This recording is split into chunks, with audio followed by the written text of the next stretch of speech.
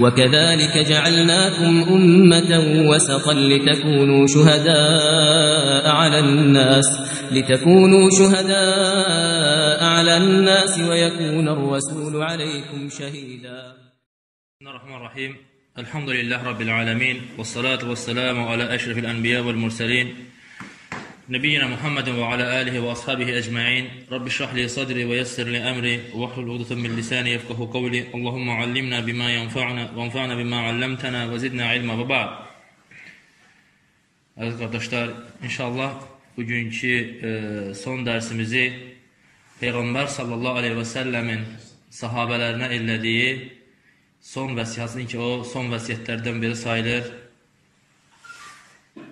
O vəsiyyəti ilə inşallah tamamlamaq istəyirəm. Və hansı ki, o vəsiyyət dinin çox əhkamını özündə cəm eləyir. Və o Peyğəmbər sallallahu aleyhi və səlləmin ümmətinə etdiyi şəri əhkamların çoxsunu, ən önəmli məsələləri özündə əhatə edən vəsiyyətlərdən sayılır. O da İrbəd ibn Səriyə radiyallahu anhunun hədisidir. Hansı ki, o hədisə Peyğəmbər sallallahu aleyhi və səlləmin sahabələrinə vəsiyyəti kimi tanınır. Ərbəd ibn Səriyə radiyallahu anh deyir ki, Va'adana Rasulullah sallallahu aleyhi və səlləm muv'izətən bəliğə Bir gün Peyğəmbər sallallahu aleyhi və səlləm bizlər üçün çox təsirli bir muizə etdi, nəsihət etdi. Zarafət minhəl uyur və cilət minhəl qulub O vəsiyyətdən, o tövsiyədən qəlblərimiz titrədi, gözlərimiz doldu. Rasulullah sallallahu aleyhi ve sellem onlara təsirli bir vəsiyyət edir, tövsiyə edir. Fəqulnə ya Rasulullah kəənnəhu vəsiyyət müvəddi. Bu, ey, ey Allahın Rasulü, dedik ki, ey Allahın Rasulü, bu elə bil ki, vidalaşan bir insanın vəsiyyətidir. Yəni, sən bizimlə vida vəsiyyəti edirsən. Fəavsinə, bizə tövsiyə ilə. Bizə nəyi tövsiyə edirsən? Yəni, ən önəmli insan həmişə vidalaşanda çalışır ki, ən önəmli məsələləri toxunsun, ən önəmli şeyləri zikr ediləsin. Və sahabələr də Rasulullah sallallahu aleyhi və səlləmin muizəsindən təsirləndikləri üçün deyirlər ki, bizə tövsiyə ilə. Və Rasulullah s.ə.v deyir ki, Ulsikum bi təqvallah. Mən sizə Allahdan qorxmağı, təqvalı olmağı tövsiyə edirəm. Və həqiqətən təqva bütün əməllərin başıdır.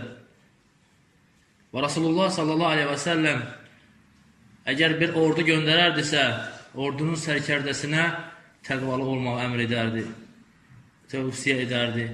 Bir yerə bir vali göndərərdisə, ona təqvalı olmağı tövsiyə edərdi. Və bu təqva bütün ümmətlərin, bütün ümmətlərə, bütün peyğəmbərlərə əmr olunandır. Və ləqad vassəynəl-ləzīnə utul kitəbə min qablikum və iyyəkum ən ittəqullah. Allah təala buyurur ki, artıq sizdən öncə kitab verilənlərə də və sizlərə də tövsiyə etdik ki, Allahdan qorxun, təqvalı olun. Və təqva əməllərin qəbul olmağına səbəbdir. Necə ki, Allah təala buyurur, İnnəmə yətəqəbbəlullah minəl muttəqin. Həqiqətən Allah təqvalı insanlardan qəbul edər. Əməlləri yalnız təqvalı insanlardan, ondan qorxanlardan qəbul edər. Və Rasulullah sallallahu aleyhi və səlləm burada da buna görə bu önəmli tövsiyəni edir. Təqvanı tövsiyə edir. Təqva dediyimiz kimi insanın özü ilə cəhənnəm ateşi arasında sipər götürməsidir. Bu da vacibləri yerinə yetirməklə və haramlardan çəkinməklə olur. Və bütün ibadətlərdən məqsəd də insanın təqva sifətini qazanmasıdır. Allah Taala oruç barədə gələn ayədə buyurur ki, sizdən öncəkilərə oruç fərz olunduğu kimi sizlərə də oruç fərz olundu. Nə üçün? Təqvalı olasınız. Həc məsələlərində Allah Taala neçə yerdə, neçə-neçə yerdə təqvanı xatırladır və ən xeyirli olan qazanc deyir, təqvadır. Sizin kəsdiyiniz ətlərdən Allaha onun nə əti, nə qanı çatmayacaq. Sizdən çatan təqva olacaq. Başqa ayədə Allah təala buyurur ki: "Və təzəvvədə fə innə xeyra zədi təqva." Hazırlıq görün. hac üçün hazırlıq görün və ən xeyirli hazırlıq da təqva hazırlığıdır. Deməli, bütün ibadətlərdən məqsəd insanın təqva vəsfini qazanmasıdır. Çünki təqva sifətini qazanarsansa, həqiqətən bu şərəfli bir e, vəsfdir. O vəsfdir ki, Allah Taala digər əmrləri əmr etməzdən öncə ondan qabaq birinci təqvanı xatırladır. Allah Teala məsələn Allah buyurur ki: "Ya eyyuhellezina amettaqullaha haqqa tuqatihi və la tamutunna illa və entum muslimun." Ey iman gətirənlər, Allahdan haqqı ilə qorxun, təqvalı olun və yalnız müsəlman olduğunuz halda ölün. Yəni iman üzərində davam edin. İman üzərində davam etməyi əmr etməzdən öncə birinci nə əmr elədi? Təqvalı olmağı əmr elədi. Başqa ayədə doğru danışmağı əmr edir. Ya ondan öncə yeni təqvanı xatırladır. Ya eyyuhellezine amenettakullaha və qulu qavlan sadida. Ey iman gətirənlər, Allahdan qorxun, təqvalı olun və doğru söz danışın. Doğru insanlarla bərabər olmağı da əmr edəndə Allah Taala birinci təqvalı olmağı əmr edir. Ya eyyuhellezine amenettakullaha və kunu ma'as-sadiqin. Ey iman gətirənlər, Allahdan qorxun və sadiqlərlə, doğru danışanlarla bərabər olun. Baxın, əhkamların hamısında Allah Taala təqvanı onlardan öncə getirir. Ya eyyuhannas ittaqu rabbakumul-lezî xalaqakum min nefsin vahidə və xalaqa minhā zawjaha və bassa minhumā rijalan kəsiran və nisā'a Vattaqullaha ləzi təsəəluna bihi vəl-ərham. Allah Taala buyurur ki: Ey insanlar, Rəbbinizdən qorxun. Hansı ki sizi bir nəfsdən yaratdı Ondan da zövcəsini yaratdı, ondan da çoxlu kişilər və qadınlar yaratdı. O Rəbbinizdən qorxun ki, onun adına istəyirsiniz və qohumluq əlaqələrini kəsməkdən qorxun. Qohumluq əlaqələrindən öncə nəyi xatırlatdı? Təqvanı xatırlatdı. Və təqvanın Allah qatında mənziləsi, dərəcəsi həqiqətən böyükdür. Və onun da savabı böyükdür. Allah Taala Təqva əhlinə hazırlayıb cənnəti. Üiddətil muttəqin. O cənnət deyir müttəqilər üçün, təqvalı olanlar üçün hazırlanıb.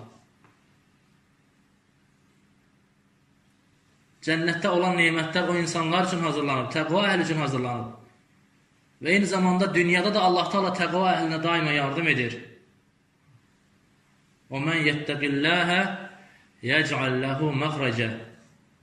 Kim Allahdan qorxarsa, təqvalı olarsa, Allah ona bir çıxış yolu verər. Məxrac həmişə nə olur? Hər tərəf bağlanır, sən eləcən, daha doğrusu eləcən izik hər tərəf bağlanır, bundan çıxış yolu yoxdur. O zaman Allah Taala sənə oradan çıxış yolu verir. Nə zaman? O zaman ki, sən təqvalı olursan, Allahdan qorxursan. Bu deyir ki, "Və yarzuqhu min haythu la yahtasib."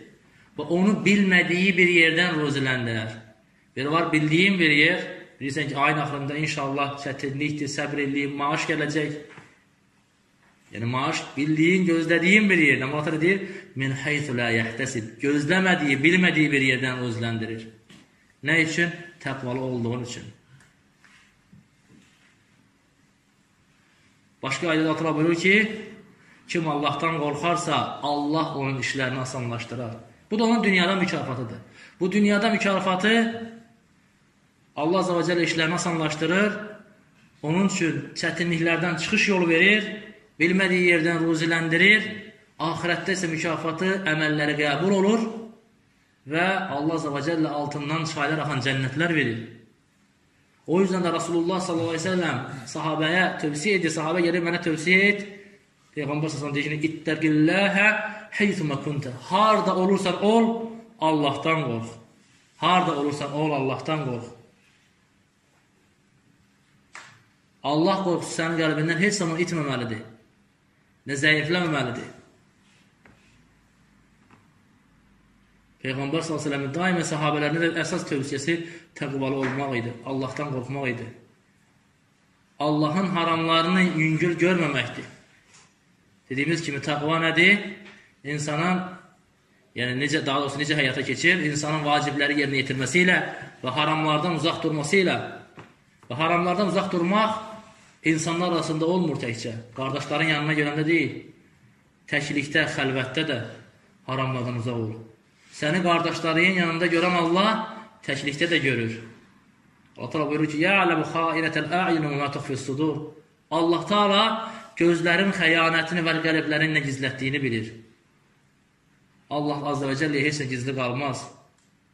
Ona görə Allahdan qorx. Haramları tərk elə, günahları tərk elə. Allah azza və cəllənin əmrlərinə qarşı səhlənkarlıq etmə. Nə namazlarında, nə orucunda, nə zəkatında, nə digər ibadətlərində, nə sənin üzərinə vacib olan haqlarda səhlənkarlıq etmə. Allahdan qorx, haqqı ilə qorx Allahdan. Və Rasulullah s.ə.v də bu yüzdən tövsiyə edir ki, Usikum bi taqvallah. Sizə Allahdan qorxmağı tövsiyə edirəm.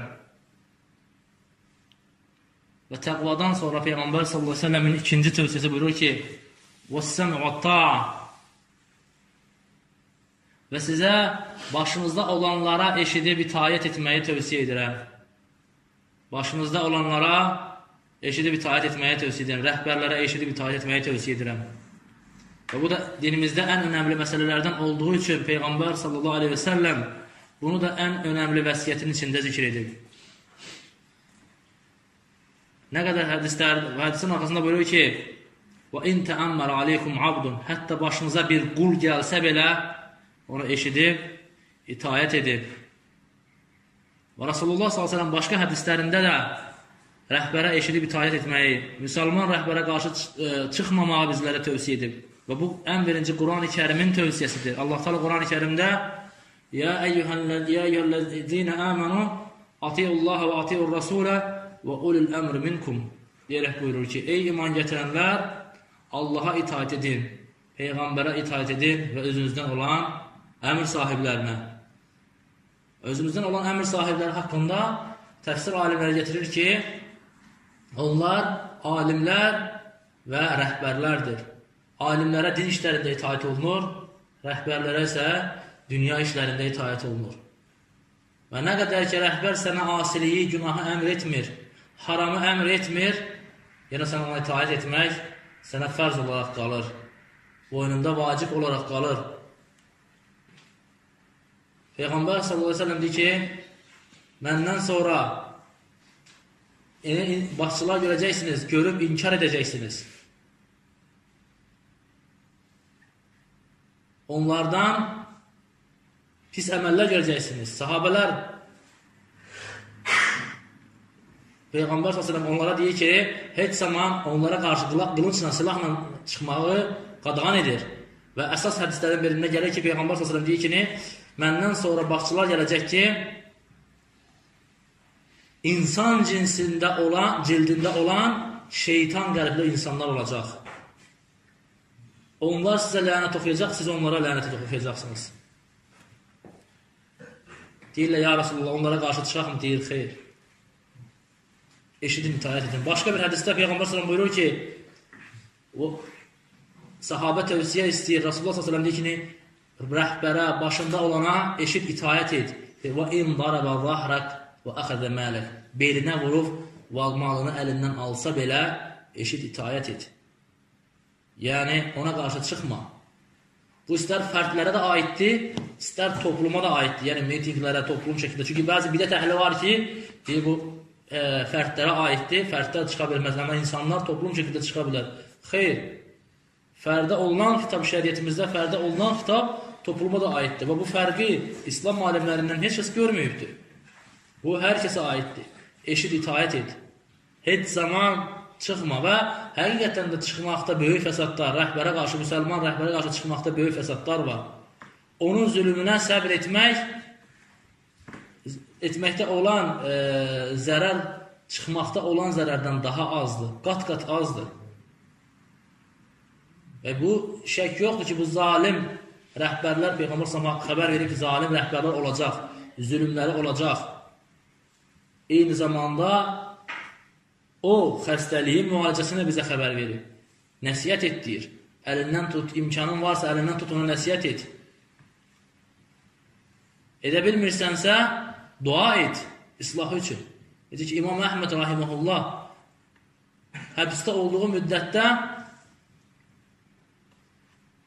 dəfələrlə ona ərz olunur ki, sən izin ver, Məmun Abbasi xəlifəsi onu həbsə salmışdı.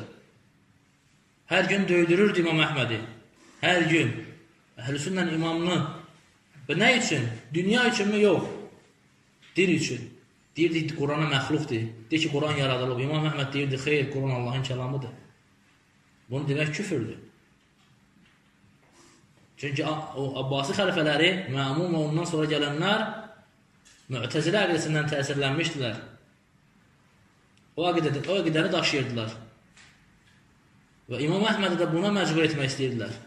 İmam Əhməd onlara itaat etmədi, amma eyni zamanda insanları xuruca da çağırmadı. Hətta İmam Əhməd də deyir ki, bir dənə göstəriş ver, biz qalxaq. Deyir, xeyr, mən bilsəm ki, bir dənə qəbul olan duam var, onu xəlifə üçün edərəm. Yəni, nəfsə qalsa, həbsdə məni həbsə salıb, özdə mən haqq üzərindəyəm, bu batil üzərindədir və insanlar da arxamdadır, fürsətdir. Aydın mı? Hə, bir dənə çıxın deyim, çıxsınlar. Amma xeyr, əhl-i sünnədə nəfsən hərəkət eləmək yoxdur. Əhl-i sünnənin üsulları var, qaydaları var. Amma Əhməd ona görə əhl-i sünnən imam adlanır. Həm fitnə vaxtı sabit qaldı, fitnə vaxtı onların dediklərinə demədi və eyni zamanda da bu tərəfdən də fitnəyə düşmədi. Nəfsinə uyub insanları qaldırmadı. Və rəhbərə itaat etmək, yenə deyirəm, əhl-i sünnəni bidət əhlindən seçən əsas vəsiflərdən biridir. Və təbii ki, bura təkcə qılıncla qalxmağın haramlığından danışmırıq. Hətta dillə danışmaq da eyni hökmdədir. Sözlə danışmaq, çıxıb məclislərdə bəziləri deyir ki, mən çıxmıram, qılınc, əlimə qılınc alıb çıxmıram, rəhbərə qarşı danış, vuruşmuram. Amma neynir? Bütün günü yazılarınla, zapislərinlə rəhbəri pisləyir, insanların gözündən salır. Və bunlar alimlər, sələf alimləri daima belə insanlardan çəkindirirlər ki, bunlar bunlara qaadiyyə deyilir. Qaadiyyə xavariclərin bir firqəsidir və ən şərrilərindəndir. Onlar oturaraq insanları buna təhrik edir. Özləri çıxmır, başqalarının beynini uyaraq onları dolayısıyla onları çıxardırlar. Sonra deyir ki, biz çıxmırıq. Və onların şəri demək olar ki, bəlkə də daha çoxdur.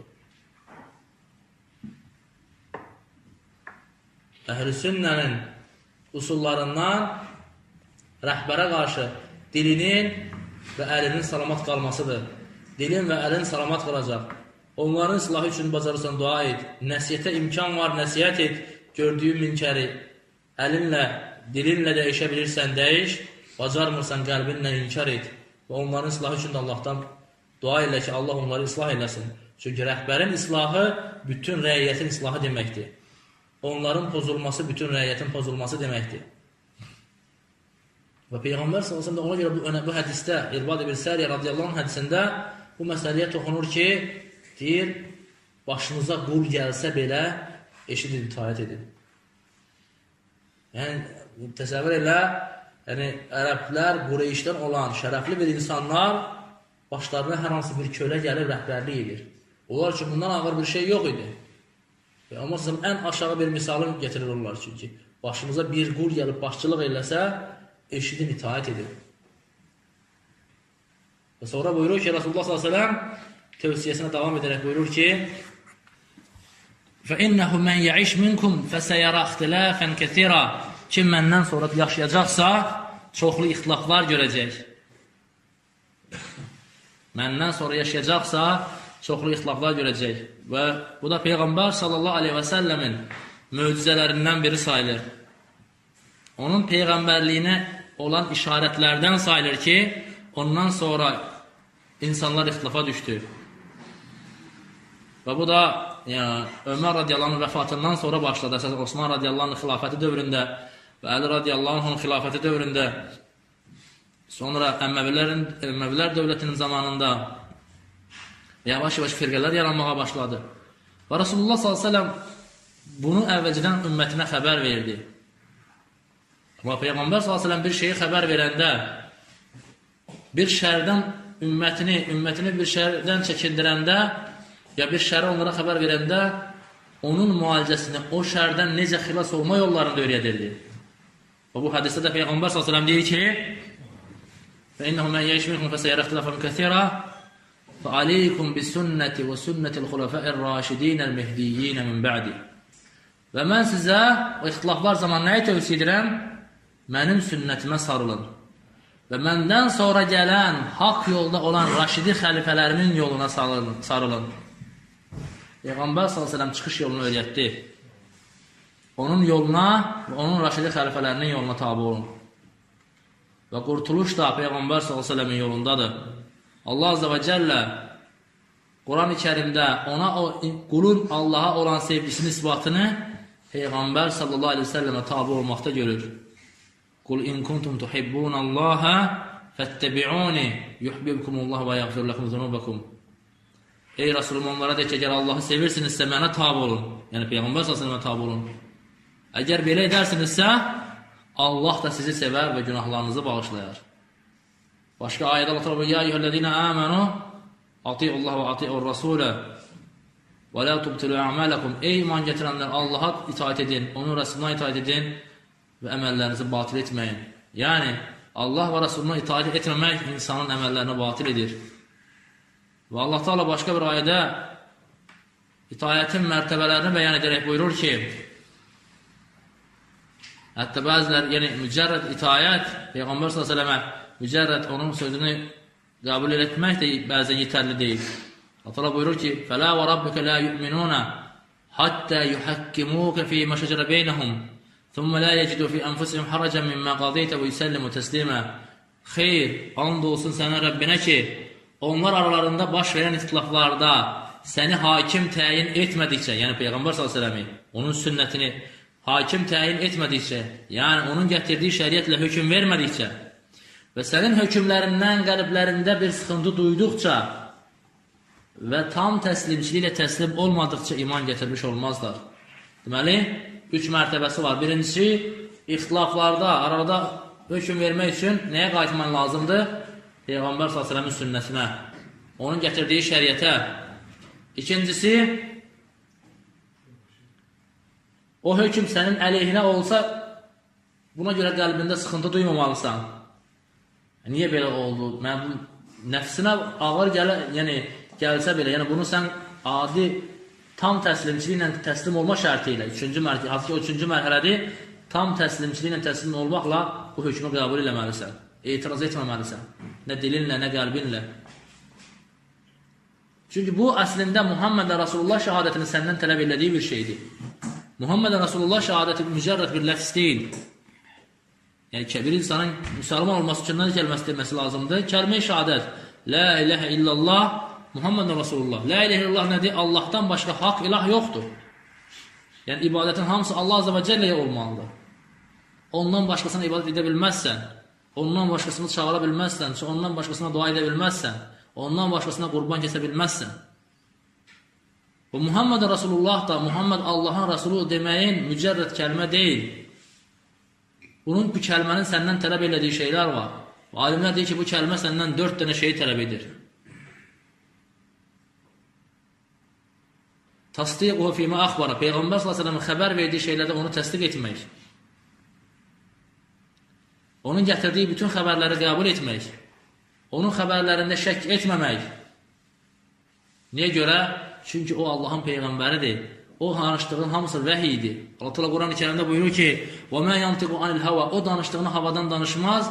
İn huwa illa vahyun yuha. O danışdığı açıqca bir vəhidir, açıq-aydın vəhidir. Peyğəmbər səlləmin danışdığı hamısı vəhidir.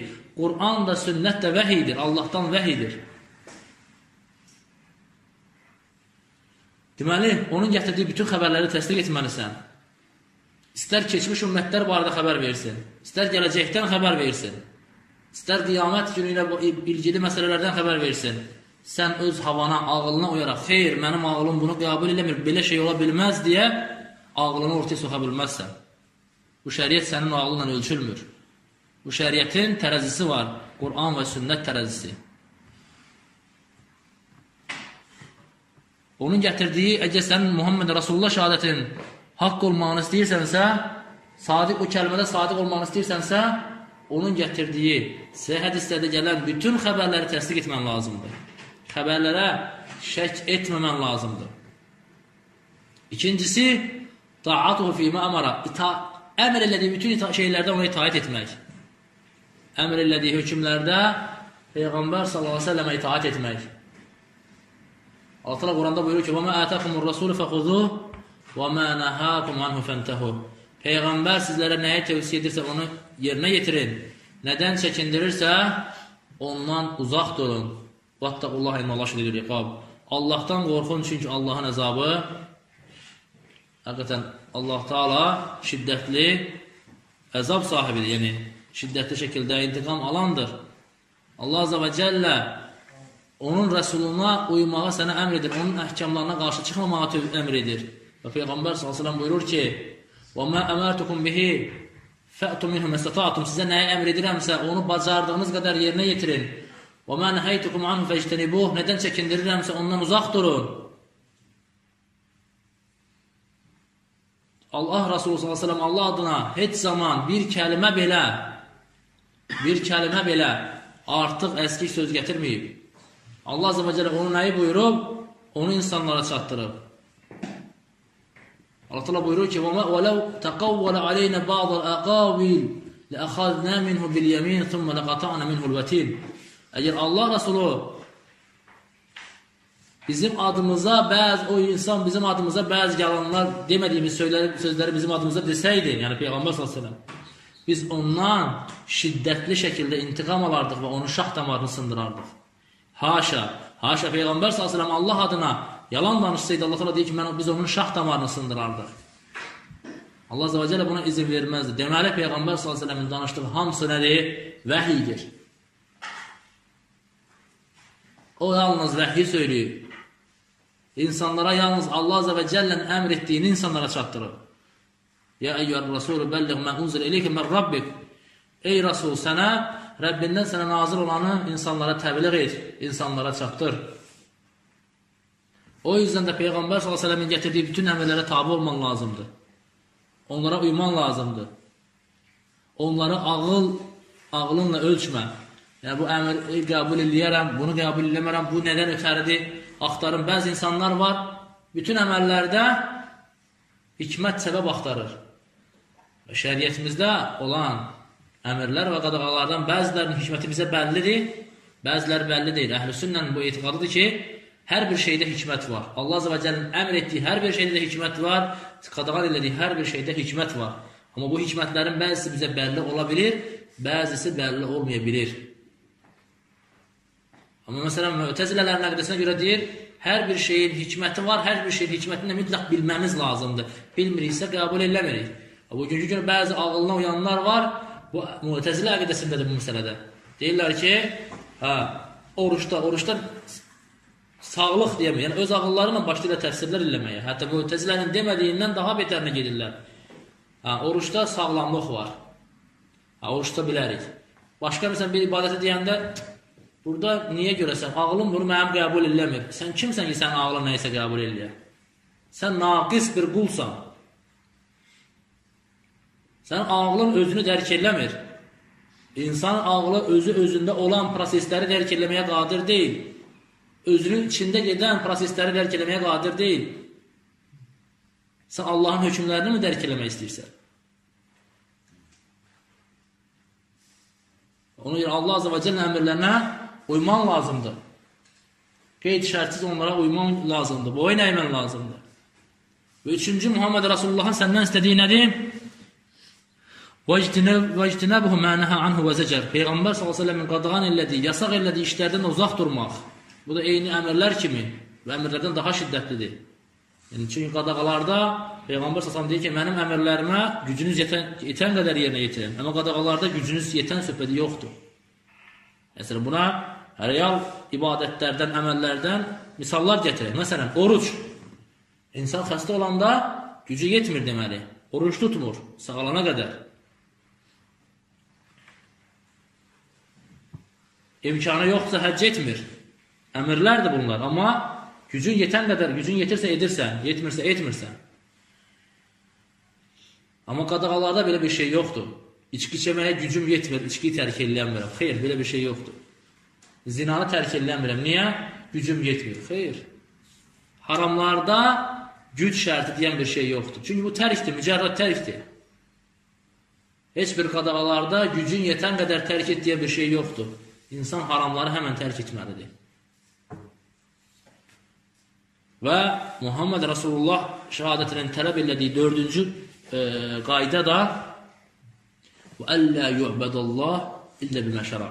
Və Allaha da Rasulullah sallallahu aleyhi və səlləmin buyurduğu şəkildə ibadət etmək. Onun şəriət kimi gətirdiyi şəkildə ibadət etmək. Yəni, öz ağlınla, öz istəyinlə deyil. Bu da bizə hansı qapını bağlamış olur? Bu, bidət qapısını. Bidət qapısını bağlayır bu qayda. Çünki bu dinimiz kamildir. Allah təala buyurur ki: "Əl-yevmə əkmaltu lekum dinakum." Bu gün sizin dininizi kamil etdim. Az sonra biz bu bidət məsələsindən hədisin axırında danışacağıq təkrar bidət məsələsindən. Və kimsə özündən hər hansı bir ibadət çıxarda bilməz, gətirə bilməz. Allah təala bu dini kamil edib.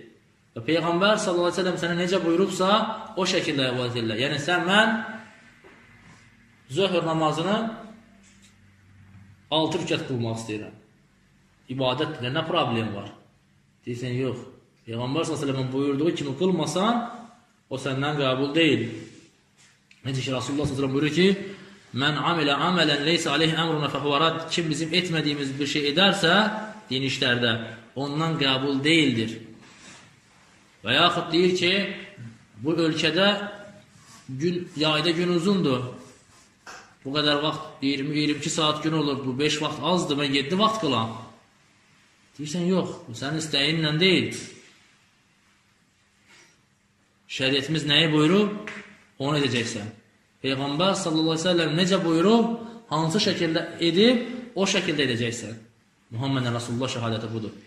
Və Peyğəmbər səlləmə həqiqi uymaq budur.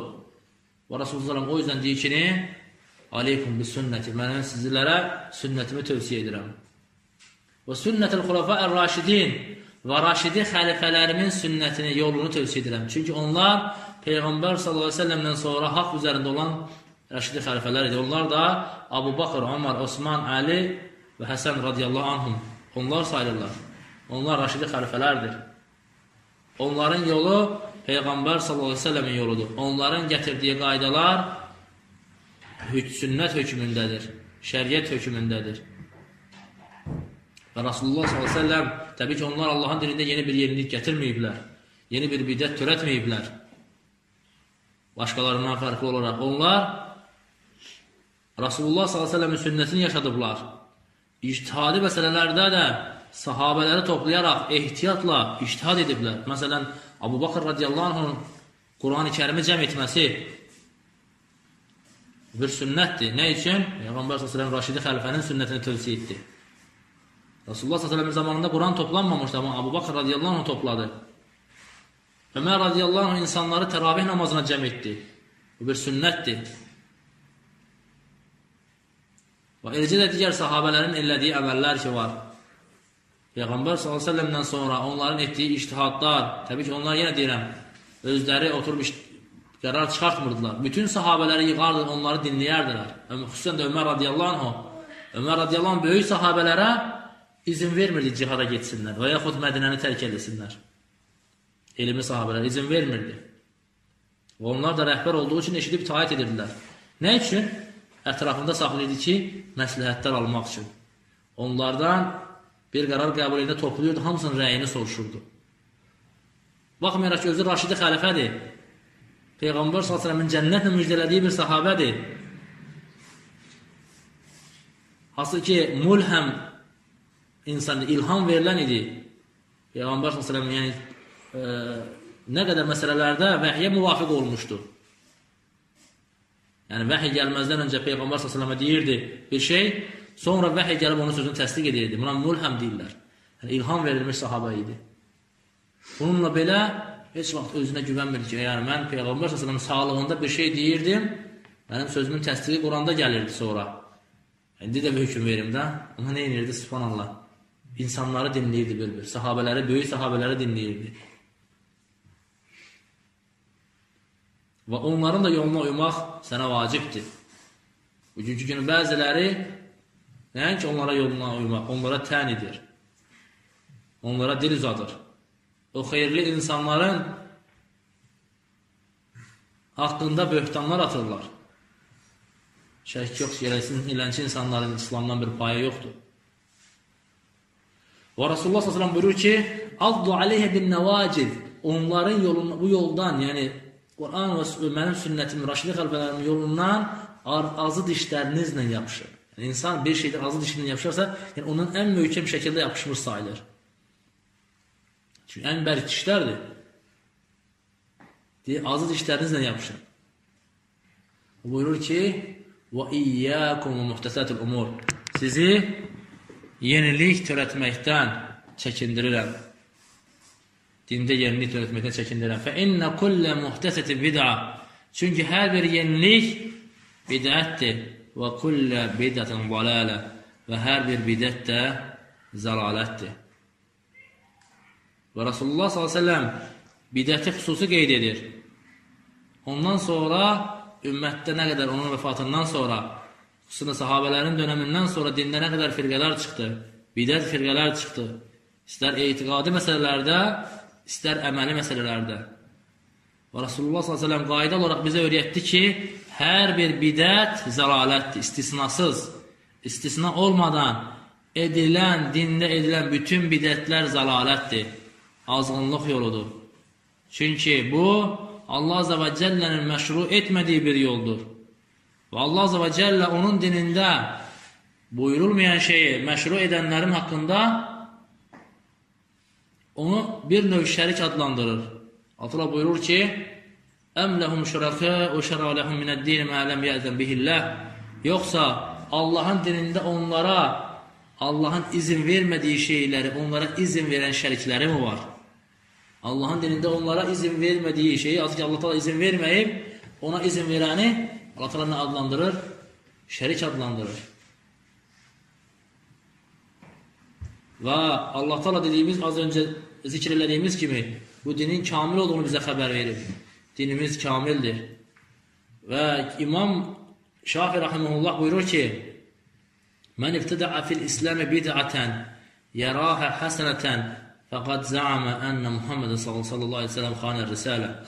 Kim İslamda bir bidət eləyərsə, yenilik törədərsə və onu yaxşı bidət zənn edərsə, artıq Muhammed sallallahu aleyhi ve sellemin risalətə xəyanət etdiyini iddia etmişdir. Bunu sözlə deməsə də, əməlində iddia edib. Nə üçün? Çünki Allah Resulü sallallahu aleyhi ve sellem Allah Teala dinidir ki, Allah Teala buyurur ki, din kamildir. Əl-yevmə əkmaltu ləkum dinəkum. Bu gün sizin dininizi kamil etdim. O zaman deməli Peyğəmbər sallallahu əleyhi və səlləm insanlara haşa insanlara çatdırmadı. Sənin bu gətirdiyin mütəzə bidətlə din kamilləşdi. Bu bidəti gizlədib deməli.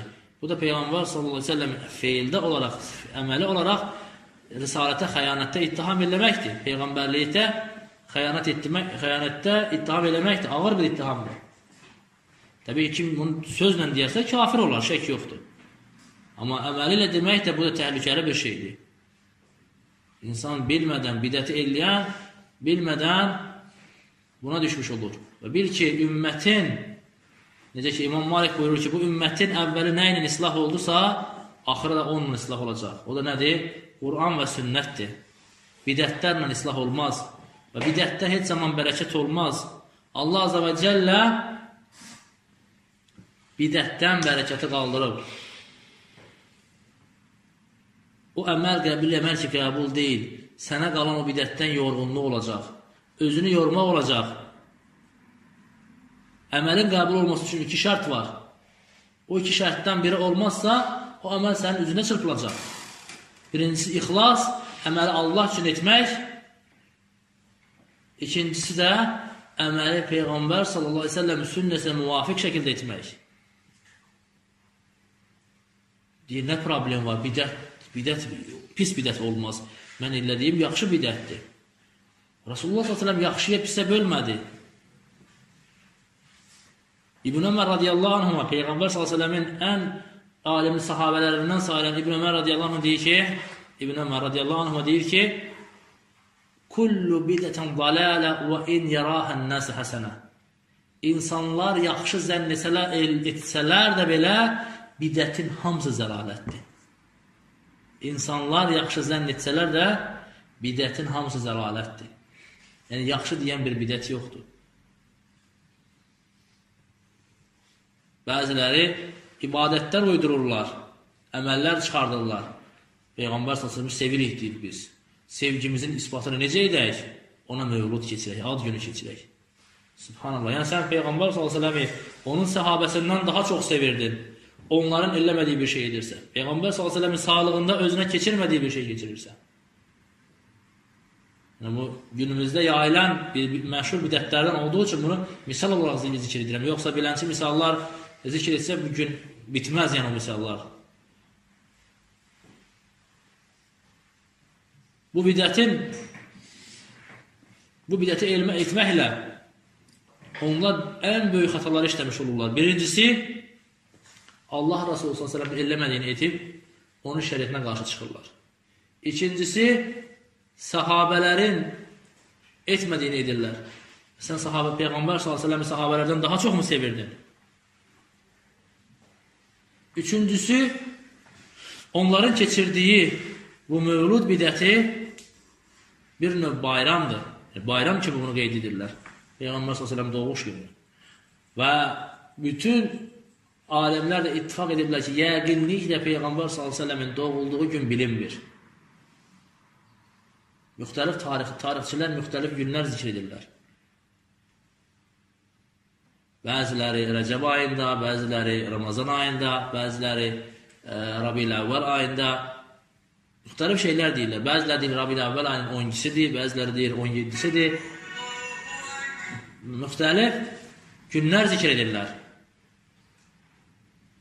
Amma bunlar Rabi'l əvvəl ayının 12-sinin yəqinliklə deyirlər ki, 12-sidir. Və bütün tarixçilər ittifaq ediblər ki, Peyğəmbər s.ə.v-in vəfat günü Rəbi'l əvvəl ayının 12-ci günüdür. Yəni, dolayısıyla bu insanlar hansı günü bayram etmiş olurlar? Peyğəmbər s.ə.v öldüyü günü bayram edirlər. Yəni bu bütün tarixçilərin ittifaq elədiyi gündür. Rəbiul Əvvəl ayının 12-si Peyğəmbər sallallahu vəfat elədiyi gündür. Hansı ki, sahabelər deyir o gün deyir Mədinə qaranlıqlaşdı, yəni zülmətə bölündü. Yəni biz Peyğəmbər sallallahu itirdik. Sahabelər günlərlə özlərinə gələ bilmədilər. Hətta Ömər radiyallahu anh kimi bir sahabə gəlir ki, kimsə ki Peyğəmbər ölüb, onun başı boynunu vuraram. İnana bilmirdilər sahabelər. O qədər şok yaşayırdılar. Abu Bakr radiyallahu anh gəldi, insanlara təsəlli verdi ki, kim Muhammedə ibadət edirsə, bilsin ki, o vəfat etmişdi. Kim Allaha ibadət edirsə, bilsin ki, Allah azə və cəllə ölməzdir, əbədidir. Yəni, sahabələr qəbul edə bilmirdilər. O dərəcədə ağır bir, onlar üçün hüzün idi. Yəni, ümmətin ən ağır hüzünü, İslam ümmətin ən ağır hüzünü Peyğəmbər sallam itkisi idi. Vəfatı idi.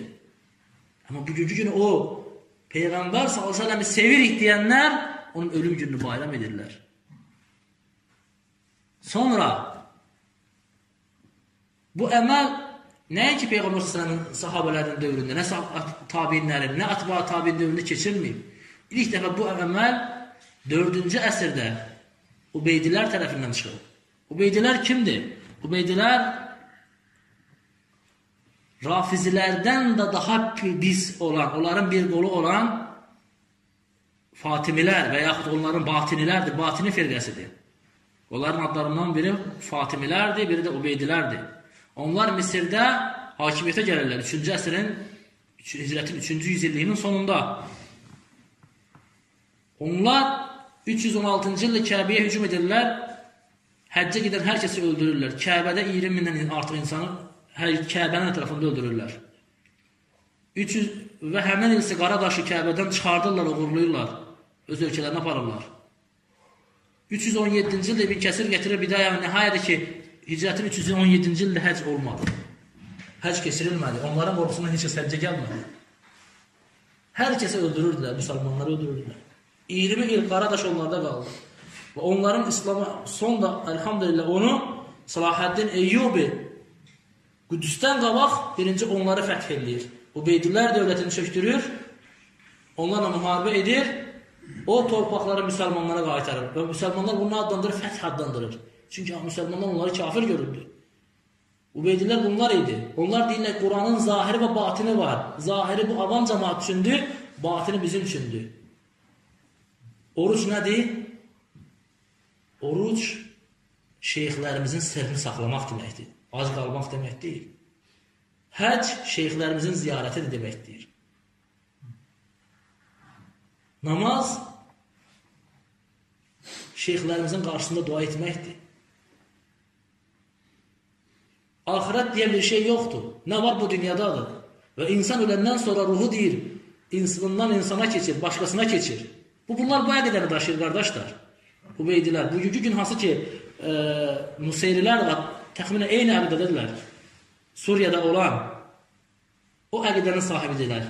Suriyada olan rəhbərlik də o əqidənin sahibidir. Və ilk dəfə bu bidəti onlar çıxardırlar. Bu bidəti 5 5 insanın 5 insanın mövlidini çıxardırlar ilk dəfə. O da Misirdə bilir, bildiyiniz kimi Misirdə tarix boyu xristianlar olubdu. Qibtilər deyirlər onlara. Qibtilər, yəni bu günə qədər də var xristianlar. Xristianlardan İsa əleyhissalamın mövlidini keçirdiyini görürlər, deyirlər biz də keçirək. Bunu əslində hardan götürürlər? Xristianlardan. Və Peyğəmbər sallallahu əleyhi və səlləm Əli radiyallahu anhaya, Hüseyin radiyallahu anhaya, Fatimə radiyallahu anhaya, bir də o vaxt ki, Ubeydi hökümdarına 5 nəfərin mövlidini təşkil edirlər, təyin edirlər. Və onların mövlidini keçirirlər. Təbii ki, bu bir müddət davam edilir. Yavaş, yavaş, yavaş, yavaş özünə sünni deyənlər başlayırlar onlardan bu şeyi götürməyə. Çünki bidət elə bir şeydir, bidət əhli elə şeydir ki, bidət əhli daima bir-birindən təsirlənir, bir-birindən alıb verir. Bu bidətləri bir-birindən götürür. Məsələn, nə qədər sufilərdə olan bidətlər var ki, baxırsan ki, rafizlərdən keçir. Rafizlərdə bəzi bidətlər var ki, sufilərdən keçir. Çünki onlarda bidət qapısını həmişə açıq qoyurlar. Kim göndərsə onlara tərəf qəbul edirlər. Amma sünnət qapısı həmişə qapalıdır onlarda, bağlıdır. Və ümmətə də maalesef bugünkü günü o bidət onlardan keçibdir. 4-cü əsrdə onlar, 3-cü, 4-cü əsrdə onlar çıxardırlar və ondan sonraki 100 illiklərdə də əhlüsünnə arasında yavaş-yavaş cahil əhlüsünnə arasında və yaxud özünə özünü əhlüsünnə nisbət edən bəzi firqələr arasında bu bidət yayılmağa başlayır. Sonra sonunda nə deyirlər bugünkü günü? Bu Peyğəmbər sallallahu əleyhi və səlləm olan sevgimizdəndir. Hansı sevgidən danışırsan sən? Bir əməlin əslinə qayıt. Bax gör hardan gətirmisən bu əməli. Bu gör əməlin sənin hara aparıb çıxarır. Ona görə Peyğəmbər sallallahu deyir, hər bir bidət zəlalətdir. Azğınlıqdır. O yüzden də alimlər deyir ki, bidət qapısı böyük günahlar qapısından daha şiddətlidir. Nə üçün? Çünki insan bidətindən heç zaman tövbə eləmir. Amma günahından tövbə eləyir. Bilir ki, bu haramdır, haram işlədir. Bunun tövbə eləmə şansı var. Amma kimsə bidətindən demir ki, mən ibadət eləmişəm, deyir, Allaha yaxınlaşmaq üçün etmişəm bunu. Heç zaman bidətdən tövbə eləmir. Yəni, Allaha rəhm etdiklərindən başqa. Bu yüzdən də bidət qapısı günah, böyük günahlar qapısından daha şiddətlidir. Və Rasulullah s.ə.v də ümmətini bundan çəkindirir deyə bütün bidətlərdən çəkinin, yeniliklərdən çəkinin. Və günümüzdə sənə şübhələr atırlar ki, o zaman maşına da minmə, təyyarə də minmə, onlar da bidətdir. Deyirsən ki, söhbət dində bidətdən gedir. Dünya işlərində bidəti kimdir qadağan elədik sənə? Və Rasulullah s.ə.v hədisi var ki, siz dünya işlərinizi daha yaxşı bilirsiniz, deyir. Bu dünya işlərində sərbəstlik demək idi Peyğəmbər s.ə.v bu sözü. Onun qadağan elədiyi din işlərində idi ki, din işlərində olmaz. Din işlərində nə, mən nəyə getirdimsə ondan kənara çıxmayın demək idi. Bu bidətçilərin şübhələrindəndir.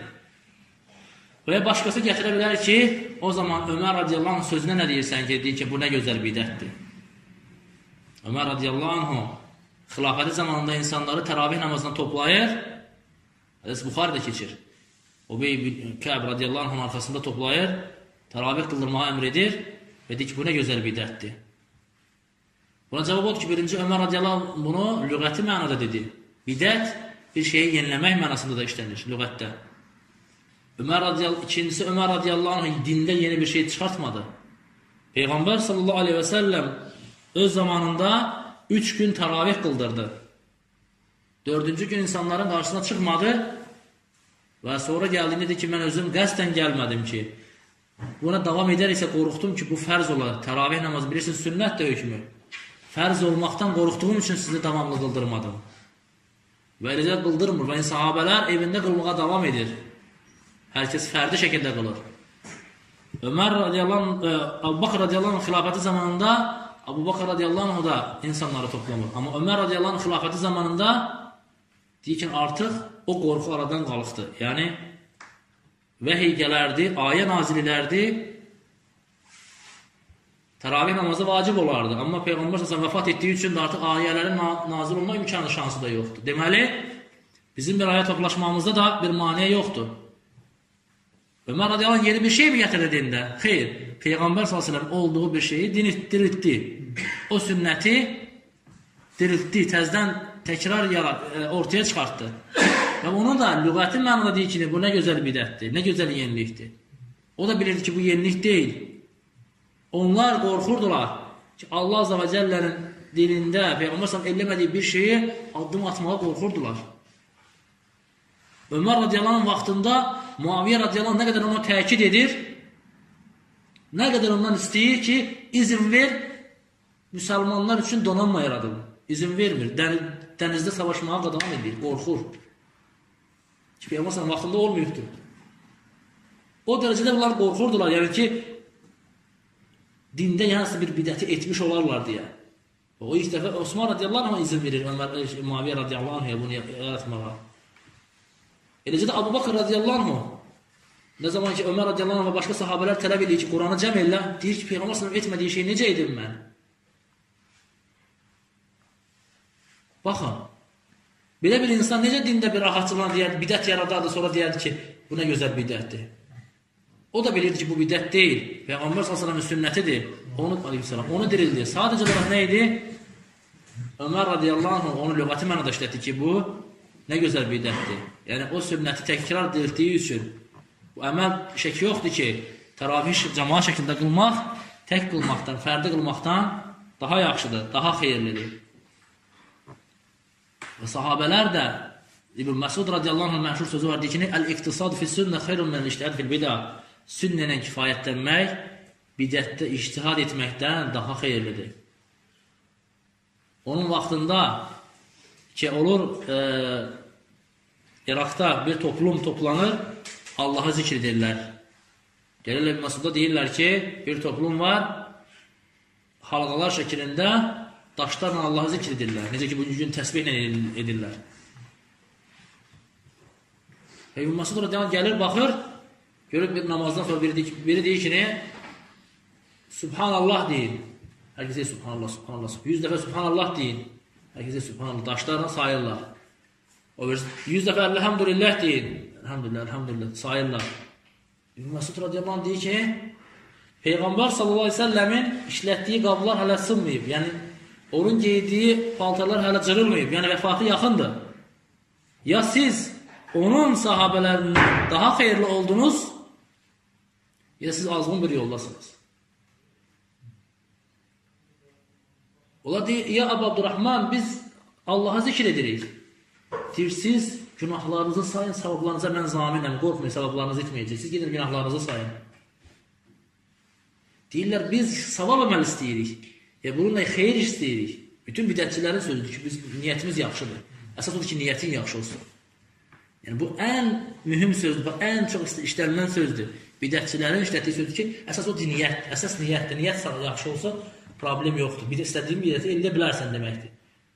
Onlara görə Peyğəmbər sallallahu sahabəsinə cavab verirdi ki, "Kəm min muridin lil xeyr lam yusibha." Nə qədər xeyir istəyən varsa, var ki, onlar xeyrə yetişməyiblər. Xeyrə müvəffəq olmayıblar. Deməli, iş təkcə sənin xeyir istəməyində də deyil. Xeyir istəyərsən, elhamdülillah, amma xeyir istəməklə bərabər onun şəriətin buyurduğu şəkildə istə. Öz ağlınla deyil. Və hə, həmin rivayəti, həmin qıssəni nəql eləyən tabiin deyir ki, orada, o məclisdə olanları deyir, mən deyir, Nəhravan döyüşündə gördüm. Yəni, xavarişlərin səhvini keçənlərdən gördüm. Yəni, İbn Məsudda illər sonra onlar hamısı da xavaric oldular. Bidət bidət gətirir. Bidət insan heç vaxt inat etməməlidir. Nəsiyyət olunarsa, ola bilsin hər kəsdən hər hansı bir xata baş verə bilər. bilmə, bilməyərəkdən nəsihət olunarsa, qayıtmalıdır. Əgər ona dəlil zikr olunarsa, Qurandan, sünnədən, sahabənin sözündən dəlil gələrsə, onun durması lazımdır. Allahın və Rasulunun hədlərinin qarşısında addım atmaması lazımdır. O, hədlər qarşısında dayanması lazımdır. Allah Azze ve Celle istəyirəm ki, bizi eşidib faydalanlardan eləsin. Bizi eşidib yaxşısına tabi olanlardan eləsin. Allah Azze ve Celle bizi ixlaslı qullarından eləsin. Onun Rasulunun sünnəsinə tabi olub, onun sünnəsini e, yayanlardan eləsin. Allah Azze ve Celle müsəlmanların səhvini birləşdirsin. Qardaşların bir-birinə mehriban eləsin. سبحانك اللهم وبحمدك أشهد أن لا إله إلا أنت أستغفرك وأتوب